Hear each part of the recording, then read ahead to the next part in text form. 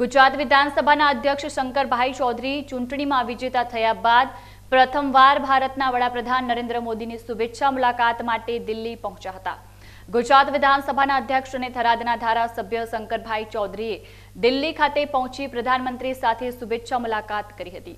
શંકરભાઈ ચૌધરીએ વિધાનસભાના અધ્યક્ષ તરીકેનો ચાર્જ સંભાળ્યા બાદ પ્રથમવાર દિલ્હી પહોંચીને પ્રધાનમંત્રી સાથે મુલાકાત કરી હતી.